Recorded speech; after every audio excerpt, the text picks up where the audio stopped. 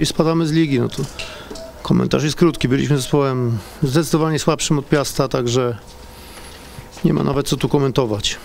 Nie wytrzymaliśmy najwyraźniej ciśnienia i, i jesteśmy w pierwszej lidze, także tyle.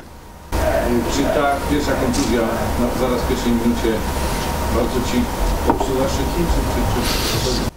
Znaczy, no, na pewno popsu, na pewno popsuła szyki, bo pierwsza akcja i tracimy no, najlepszego ostatnio zawodnika, można powiedzieć. I, i, no ale to nie jest wytłumaczenie, no, nam jest bardzo przykro to, co się stało Bartkowi, to jest ciężka kontuzja, tam widziałem po reakcji zawodników, że, że niektórzy to za, zamykali, mm, zakrywali oczy wręcz, bo, bo wstrząśnienie mózgu, rozbita głowa i on w pewnym momencie zaczął odpływać, więc było groźnie.